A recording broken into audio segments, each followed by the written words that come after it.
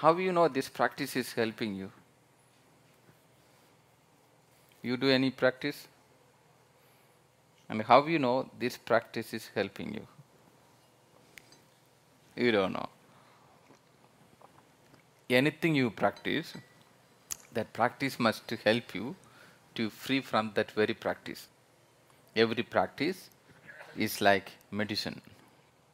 You have fever, so you use paracetamol, for example. So you don't have fever. So every practice you are practicing must help you that you no need to practice that anymore. Otherwise, you become a prisoner of that very practice. And every person who become prisoner of that practice like to bring that prison to others also. Share that prison also. You also practice like this.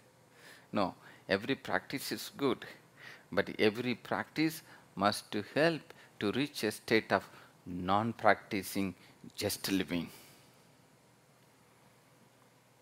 You as a species, human species, born in this form, formless which is born in this form.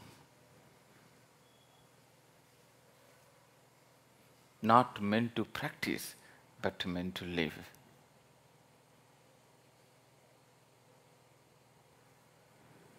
And every practice you do must help you to come to that point that you start to live so that you don't have to practice anymore.